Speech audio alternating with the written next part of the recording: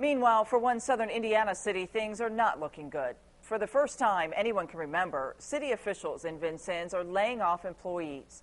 The city had once 146 employees, but that number had fallen to 126.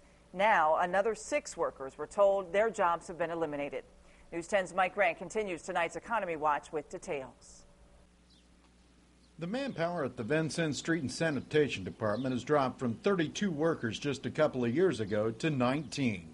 The last six workers let go as part of a cost cutting move by City Hall. It wasn't performance oriented, it wasn't politically oriented, it was can we do this better? Vincennes, like a lot of southern Indiana cities, has taken quite a beating on its tax revenues over the last few years. In fact, Mayor Baldwin says the city will now be operating on $2.5 million less than it was when he came into office. You know, the mayor and the council have been handed a pretty tough bill of goods in terms of cuts we have to make with uh, the current tax revenues. Uh, so at some point, uh, layoffs are inevitable. The mayor, though, says these layoffs are less about the budget and more about giving the taxpayer more bang for the buck. Even though it helps us cope with the uh, constrictions of the new budget guidelines.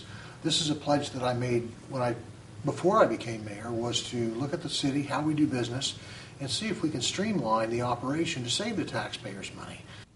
The mayor has no plans to make any cuts in public safety departments like the fire and police, but he won't rule out future layoffs in the rest of the city. If we can do something with five people that before we were doing with ten, we're going to do it with five.